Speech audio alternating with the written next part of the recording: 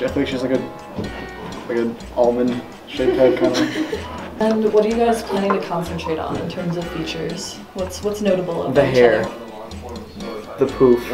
Um, body shape. Her gorgeous eyes. Your gorgeous eyebrows. Aww. See where it goes. Um, okay, I think I'm gonna focus on glasses, piercings, and broken nose. And then who do you think is going to be better at this?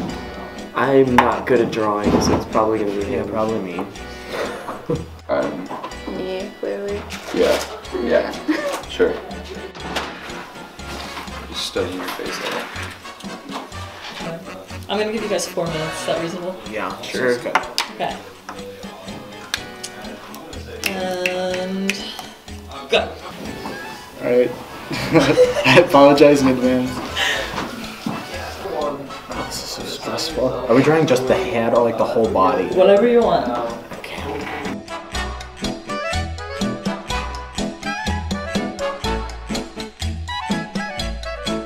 Put like a regular size human there for scale. Why are you giggling over this? Is silly.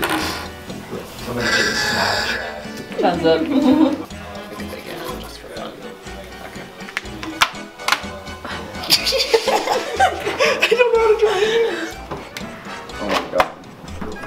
me a middle part.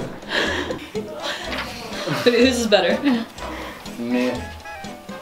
Guys, who wins? I don't know. Honestly, I think Rose. It looks like me. He looks like you. Yeah. I think Nick did a pretty good job. Yeah. This is probably one of the better. I don't know. The Noodle Boy is pretty, uh, pretty accurate.